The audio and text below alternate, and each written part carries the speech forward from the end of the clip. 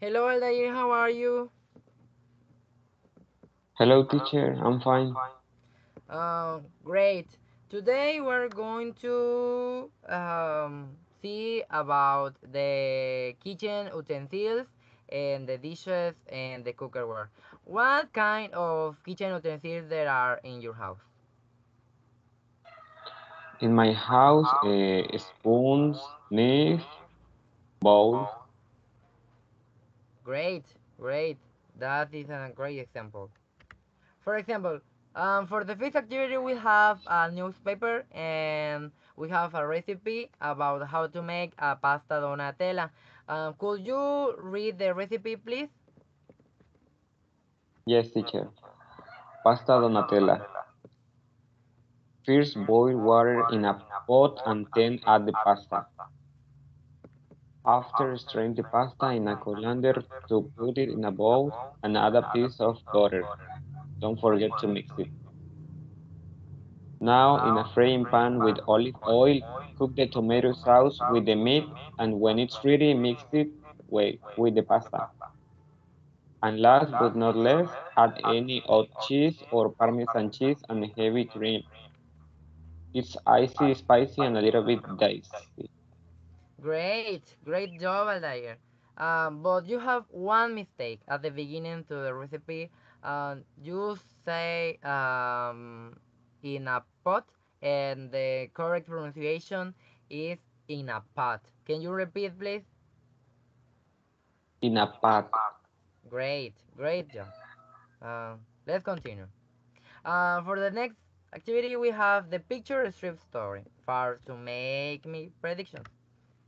So, the first uh, picture we have a pot with the water. What do you think that is the next picture? Add the pasta. Let me check. Great. For the next picture, what do you think? Uh, put the pasta in a colander.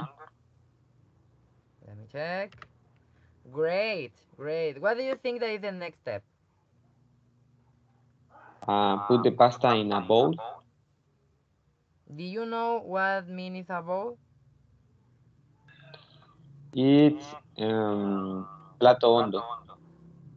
Check. Great, a bowl. What do you think that is the next step? Uh, in a frying pan with olive oil cook. Uh, put the pasta with a little bit of butter.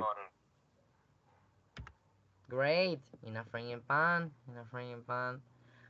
Um, for the next, the next step. Uh, my favorite part is put the sauce with the pasta, tomato sauce. Great, and finally we have the pasta Donatella. Great, excellent job, Aldair, and great pronunciation. Now, for the last activity, we have the same group.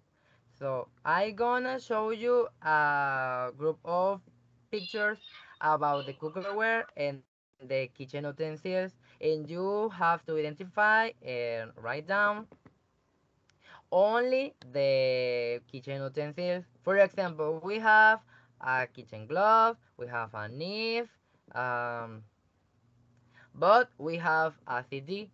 Uh, a CD is a kitchen utensil. No, teacher. Oh, and we have a cell phone. And a cell phone is a kitchen utensil? No, teacher. No? Well, well, well, now it's your turn. You have five minutes.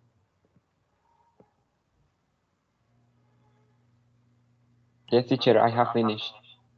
Well, let me see what do you identify. A spoon, teapot, cleaver, pressure cooker, and cooker. Great, excellent job. The next group,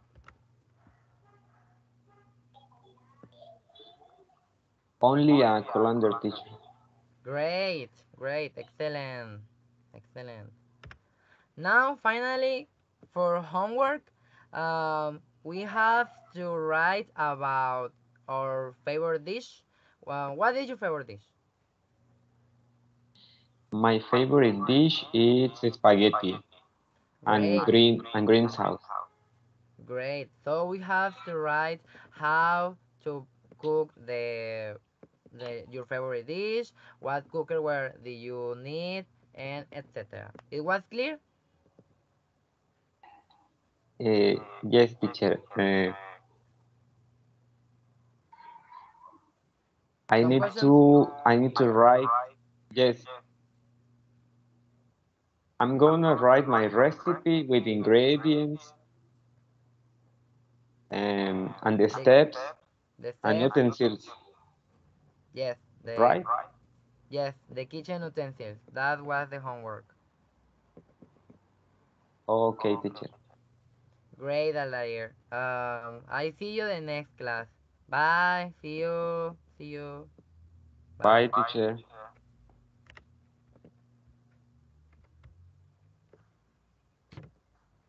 Ahí está. ¡Ay, qué bueno! Muy bien, hay que ponerle guardar. Ay, ay, ay, qué nervios. Espero que detener grabación.